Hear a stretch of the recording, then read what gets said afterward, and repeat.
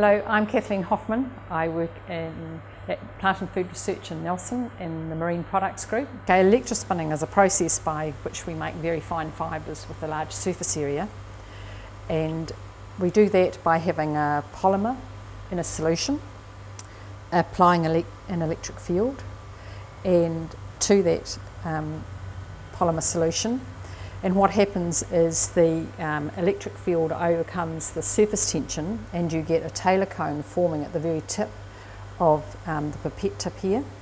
And once the uh, electric field overcomes that surface tension, you get the polymer erupting in jets. And as those jets travel towards the um, grounded collector, you get fibres forming. And you can actually see the fibres here on this now, which is very good. We can observe it through the laser light because the fibres um, interrupt the light, so you can see it happening. And I collect the fibres on these little SEM pins. I take that off carefully.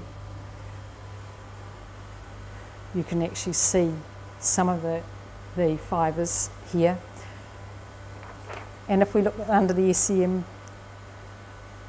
we see them a little bit more clearly because they're not quite so easy to see by the naked eye.